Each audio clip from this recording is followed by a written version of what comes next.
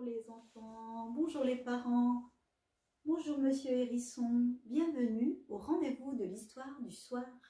Allons la chercher.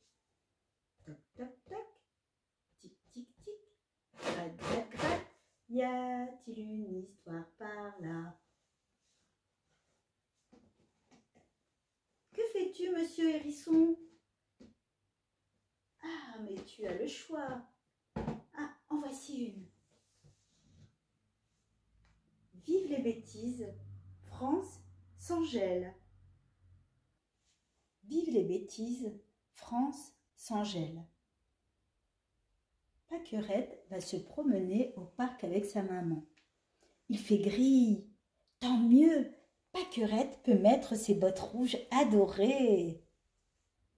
Maman enfile une botte, l'autre botte. Paquerette et ses bottes adorent l'eau. Dès qu'elles arrivent au parc, Paquerette et ses bottes courent vers la fontaine. Dommage, le robinet est fermé. Regarde, la belle flaque d'eau chuchote les bottes. Attention, Paquerette, prévient maman, ne va pas dans l'eau. Pas dans l'eau, promet Paquerette. Si, dans l'eau, grognent les bottes. Maman a dit non. Allez, viens, Paquerette. Ta maman ne regarde pas. Paquerette et ses bottes courent autour de la flaque d'eau. Paquerette s'écrie Je me vois dans l'eau Splatch Paquerette, ça va pas? Arrête-toi tout de suite Maman est très en colère. Elle est plus rouge que les bottes. Tu es toute mouillée, vilaine coquine. Paquerette aussi est très en colère. Elle gronde ses bottes. Coquine Tiens, des gouttes? Vite, Paquerette, mettons-nous à l'abri.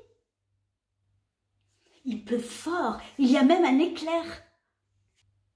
Ça y est, la pluie est finie, la colère de maman aussi. Tout le monde est mouillé. Il faut rentrer à la maison. Paquerette enlève ses bottes. Elle va prendre un bain bien chaud. Dis, Paquerette, emmène-nous avec toi, chuchote les bottes. Dans le bain, ça mousse et ça éclabousse. Décidément, ces bottes sont vraiment de vraies coquines. Paquerette aussi. Et c'est pour cela que sa maman l'adore. Revoir les enfants, au revoir les parents et à bientôt pour une nouvelle histoire.